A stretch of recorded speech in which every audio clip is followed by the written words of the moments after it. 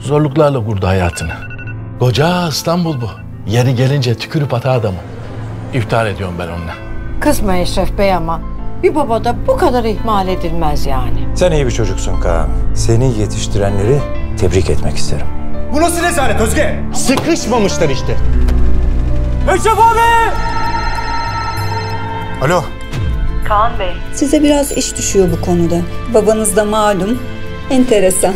Birkaç gün işten izin alıp burada kalamaz O mısın? mümkün değil. Olmaz oğlum. Ben yük olurum orada size. Evet aşkım. Bir oturup konuşsaydık.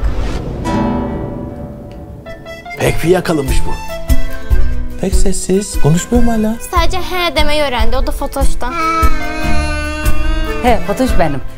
Tabii şimdi ben aile içi şeylere karışamam. Bir şey de diyemem yani.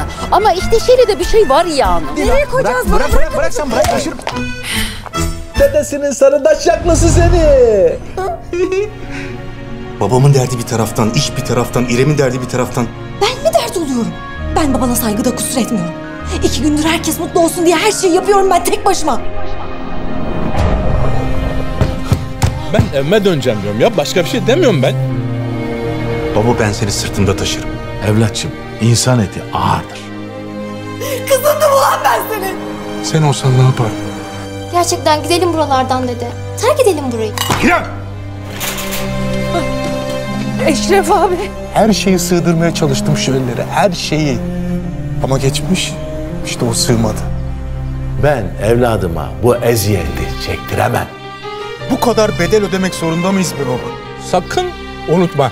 Unutmam.